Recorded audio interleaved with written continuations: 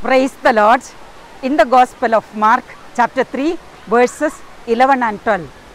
Whenever the unclean spirits saw Jesus, they fell down before him and shouted, You are the Son of God.